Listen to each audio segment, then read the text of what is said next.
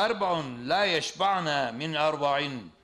Dört şey vardır, dört şeye doymaz. Peygamberimiz sallallahu aleyhi ve sellem buyuruyor. Dört şey vardır, dört şeye doymaz. Aynun min nazar. Evet, göz güzel şeye bakmaktan doymaz, zevk alır. Nedir o? Efendimiz sallallahu aleyhi ve sellem de bunlar hep e, örneğimiz. Yeşilliklere bakmak, suya bakmak, yeşil böyle açık maviler, manzara seyretmek, efendim bunu seyretmekten göz doymaz. Devamlı bunlara bakmak ister ve gözü dinlendirir.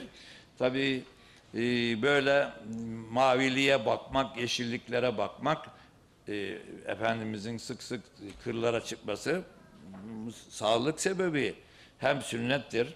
E, yorulduğunuz zaman beyniniz yorulmuştur.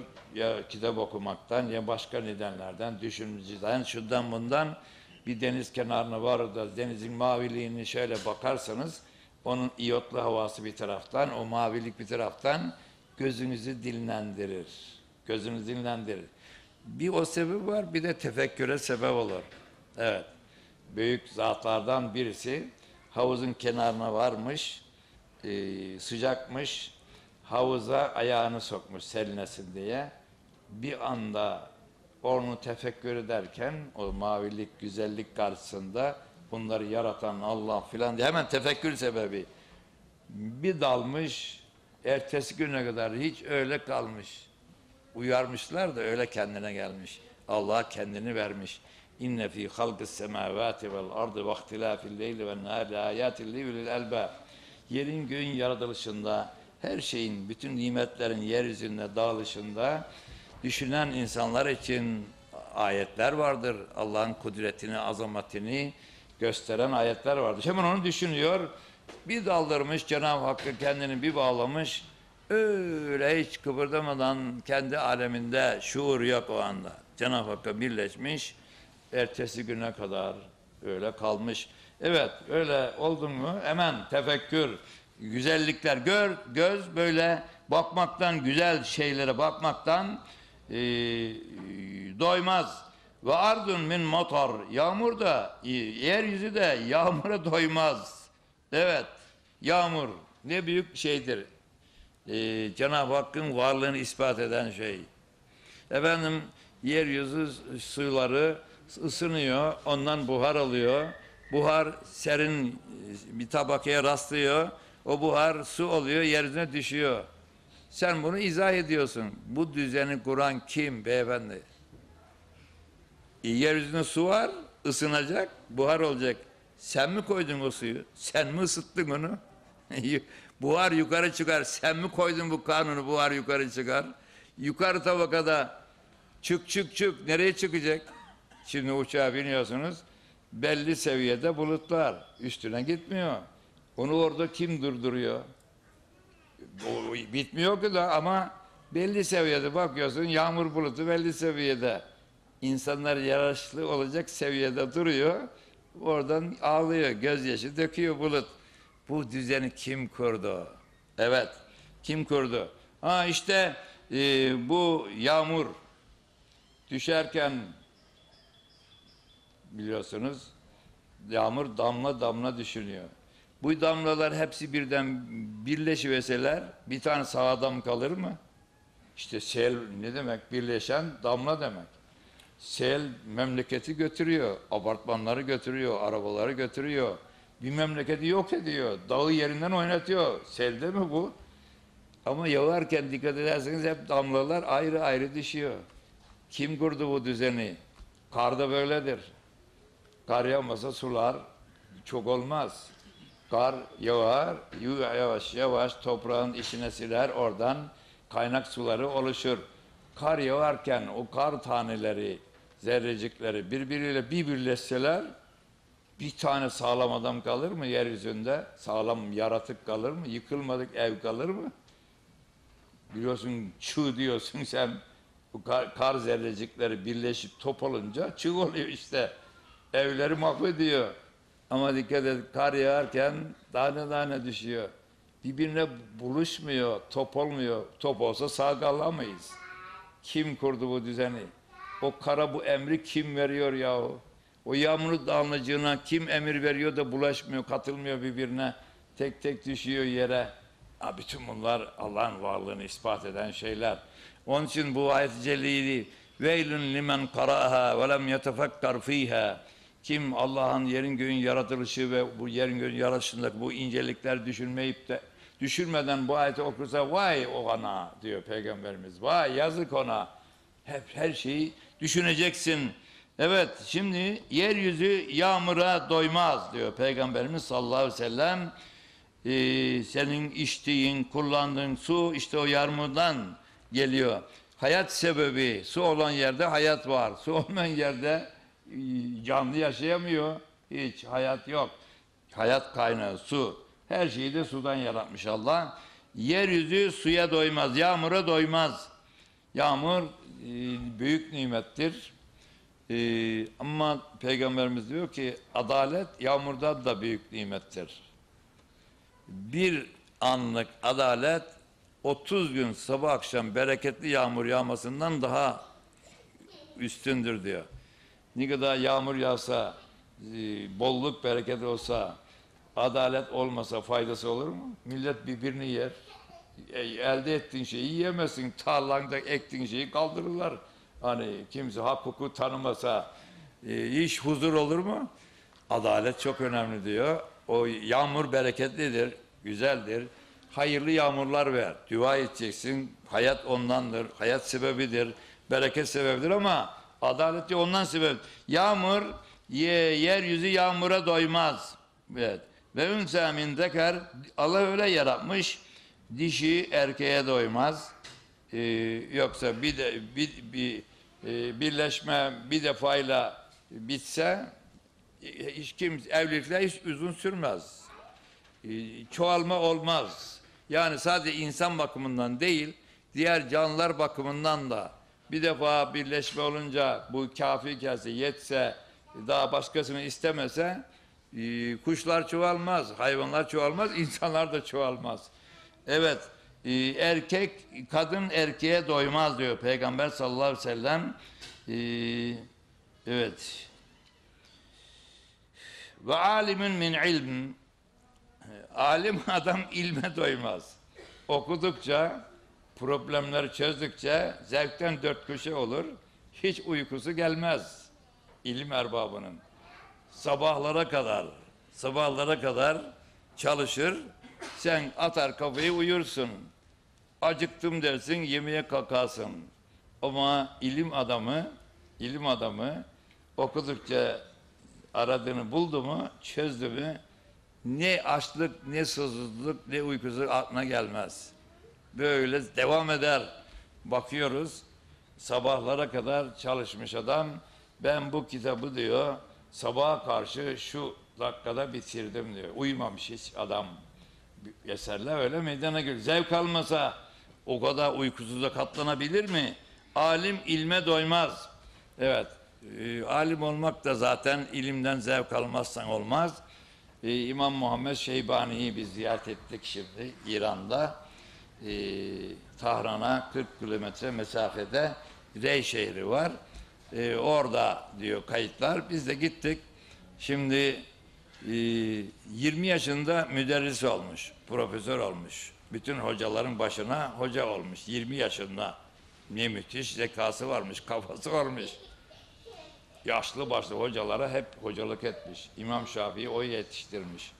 Ne kadar büyük zatlar var. Hep yetiştirdiği insanlar. Ee, ondan sonra hiç lüzumsuz laf etmemiş. Etmezmiş. Mesela su getir. Ona göre bir lüzumsuz laf. Karnım acıktı, sofra getirin, yemek yiyeceğim. Lüzumsuz laf. Ondan zevk almıyor, ilimden zevk alıyor hanımınla anlaşmışlar parola aralarında. Ben rahleyi, kitap üstünde olan rahleyi, şu rahleyi bir defa vurursam hanım demiş, bil ki susadım demek. Bir daha söyletme bana bu lafı. İki defa vurursam karnım acıktı demek. Su getir demiyor bakın. Onu bile lüzumsuz durmadan okuyor, yazıyor durmadan. Ee, Hanefi mezhebinin İmam-ı Azam Hazretleri imamı biliyorsunuz. onun mec- ilim meclislerindeki fetvalarını kaydeden zattır İmam Muhammed Şeybani Rahimahullah. Hiç sabaha kadar uyumazmış. Bakın bu dünya lafı da etmezmiş. Durmadan ilimle onu yazmış, kitap haline getirmiş. İstanbul'da Murat Molla Kütüphanesi'nde yazdığı o şeyler Kitabul Asıl diye var elhamdülillah. İstanbul oyundan zengin. Ve ondan işte bütün fıkıh kitapları o kaynak ondan okumuş herkes bir kitap yazmış. Okumuş kaynak o. Ama bakın su getir sözünü lüzumsuz addediyor. İlme doymuyor. Ekmeğe doyuyor, suya doyuyor ama ilme doymuyor. E, Can çekişiyormuş. Adamın biri gelmiş. Haç konusunda soru sormuş. Ama ölüm anı bayılmış cevap veremeden. Bir ara bir kendine gelmiş. Sordum sorun cevabı budur demiş. Temelli ölmüş. Son anında bile ilimle uğraşıyor. Evet, alim ilme doymaz. Okudukça, okudukça daha çok daha çoğunu araştırır. Zevk alır çünkü. Alim ilme doymaz. Evet, Peygamberimiz sallallahu aleyhi ve sellem zevk alır çünkü ondan. Zevk aldıkça daha derinini ister. Daha derinine iner. Lezzet duyar. Tabii ilim gibi şerefli bir şey yoktur. Evet. Ee, bu Süleymaniye Camisi'nin kubbesinde e, alimin mürekkebi şehidin kanından üstündür hadis-i şerif yazılı. E, 1960'larda 1960'larda biz okuyoruz talebeyiz. Bizim sanat tarihi hocamız anlattı. Saraylar müdürü NATO Genel Sekreteri general gelmiş Türkiye'ye demişler ki NATO'nun baş, baş komutanı olarak müdür olarak sen bunu ağırla gezdir İstanbul'u. Buraya getirmiş. İşte buraya gelince hayran kalmış Süleymaniye'nin o yapısına, azametine, ihtişamına. Evet. Burada şimdi Süleymaniye Camisi'nde yere tık dediniz mi tak köşeden duyulur. Tak öyle ayarlı yapmış adam. Mimar Sinan Hazretleri. Müezzinle hep rahmet oku diyor. Her zaman namazdan evvel tık dediniz mi böyle hafifçe vurdunuz mu tak ücra köşeden duyulur. Öyle bir ölçülü yapmış ki yani bu ses duyuluyor. Hatta minberini yaptığı zaman nargile içmeye başlamış. Yobazlar, Hamsovular şikayet etmişler kanuniye. Minberde, camide nargile içilir mi? Pür hiddet gelmiş. Ne yapıyorsun? Efendim demiş bir dinlesenize bak tıkırtı ta köşeden duyuluyor. O ses ayarı yapıyor. Ona şey diyor. En basit bir şey şişenin içinde nargile şişenin içinde tukur tukur ediyor. Onu köşeden dinleyebilirsiniz efendim. Onu deniyor adam. Öyle bir ölçülü yapmış. Ne güzel. Onlara hayran kalmış. Kafası çalışan bir adam. Kubbeye de hayran kalmış. En yüksek kubbe burada. Evet. Ee, şu yazılar ne? O da işte bu benim söylediğim hadisi bu demiş o. Alimin mürekkebi şehidin kanından yedir deyince adam gayrimüslim. Kur'an'a göre kafir, Müslüman olmayana kafir diyor Kur'an. Hemen seleme durmuş. Ne muhteşem söz ya diye. Hemen sele, otomatikman seleme durmuş yani hayranlığından söze. Tüm şehitliği kim öğretiyor? Alim öğretiyor. Sen şehitlik şu kadar manevi şey cennet kazandırır, şu kadar şeref kazandırır diye öğrenmesen şehit olur musun? Bunu sana kim öğretiyor? Alim öğretiyor. Evet alim ilme doymaz. Okudukça da lezzeti artar, uyku uyku bırakır. Evet, e, riyazet dedikleri işte bu. Adam yeme yemeye bir deri bir kemik kalıyor. Onu düşünmüyor ki, ilmi düşünüyor.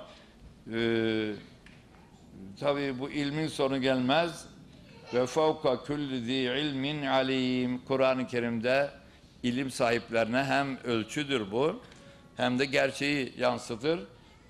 Hiçbir alim ben en üstünüm dememelidir. Bu Kur'an'ın genel prensiplerine aykırıdır. Ve la tuzakku enfusakum kendinizi temize çıkarmayın. En üstün benim demeyin. Ayet bu.